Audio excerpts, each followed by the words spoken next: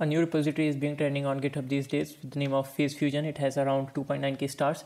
It is similar to Roop, so after all, it is going to swap the target face inside the source video. In this video, I'm going to show you how to install it, run it on your laptop locally. It has a better UI in my opinion when we compare it with Roop. Anyways, we'll not get into that comparison part. Let's see how to run it, how to install it on your own machine. It's pretty simple, so it will not be a very long video. So let's start the video. First of all, click on the code, copy the link, open your terminal. Now if you're on windows you have to open command prompt. So just search for it or maybe just search for terminal and it will going to open up. Now you should have git installed on your computer in order to git clone. Otherwise you can download the zip and extract it wherever you want to install it. So in my case i'm going to use git to download the code. So just navigate to the directory wherever you want to install it. So i'm just going to install in deepfake and for downloading the code you have to say git clone paste the link over here. Otherwise you can just directly download the zip from here and extract it to the location wherever you want to. Once all is completed you can ls and you should see facefusion over here. So we'll just change the directory to facefusion.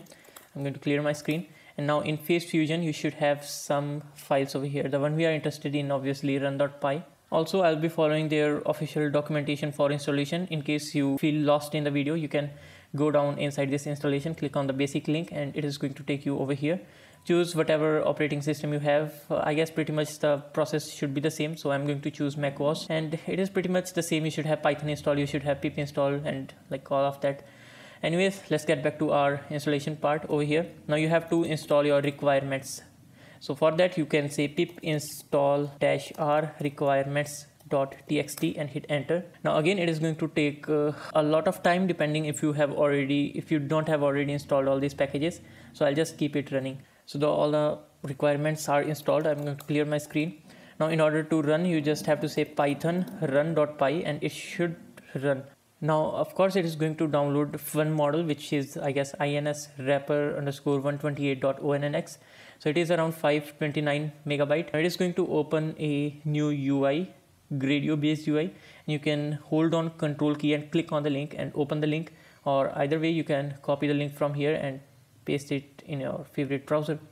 Now from here you have some options. First one is face swapper. So if you want to swap the face or not then you have frame enhancer face enhancer. Uh, the name itself is clear i guess. Now over here we don't have any gpu version installed. So obviously we are seeing over here cpu only execution thread and the temporary frame format and keep fps keep temporary skip audio. So you can just choose the option from here. The output video will be shown over here and that's all. Now let's try to run some example. One thing before we get into working on example let's just see how you can install it for your gpu in case the things will going to be pretty much fast. In case you don't have gpu you can skip this part so we'll get back to our repository over here and click on the acceleration and it should give us instruction how to do install for our GPU. So if you have CUDA or NVIDIA graphic card, you can install the ONNX runtime GPU. In my case, I have my Apple Silicon. So I'm going to run these commands. First, I'm going to uninstall my ONNX normal runtime. Then I will install Silicon runtime. So it's that simple. Other cases, you can just follow the steps over here. Now, in order to stop the UI from running, you can press Control plus C and we are here in our again normal command line interface. Now for installing the gpu i'm going to paste both of these commands and run them. For an installation yes. Now it is going to install the ONNX runtime for silicon. That's it. It's this simple. Now again we are going to run our ui python run.py and hit enter. And again this time let's just copy paste the link over here.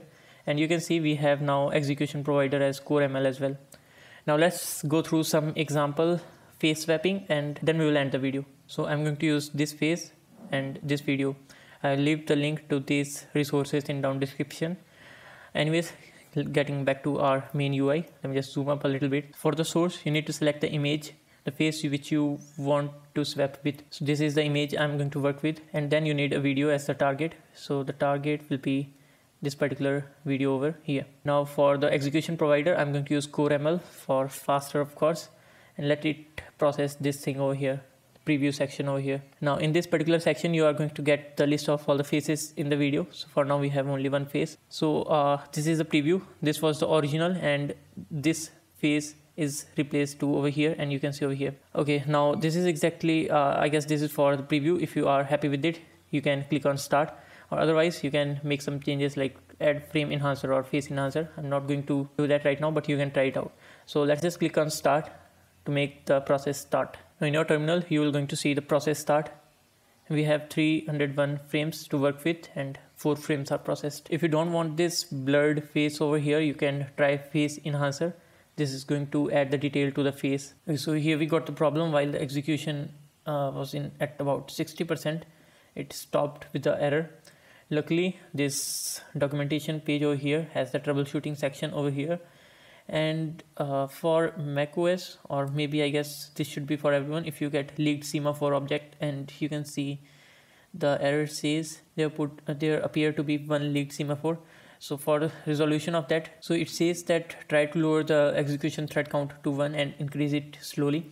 But in our case it was already one. So uh, I guess uh, let's just try to rerun it, rerun it one more time so the error we were getting earlier like related to semaphore that was solved actually. I guess there is something wrong with uh, when we select the core ml as an ex execution provider. The ram just seems to be crazy. It consumes about 25 gigabyte of memory like swap is used. But i don't know whatever the problem with it maybe i can figure out something later on. But for now this is it.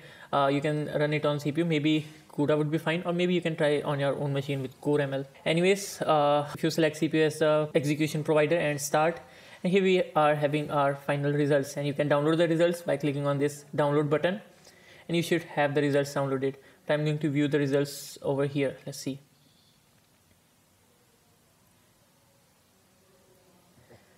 Okay let's compare the results side by side alright so this one is the real one and this one is the deepfake one by applying this particular image let's play this video and this video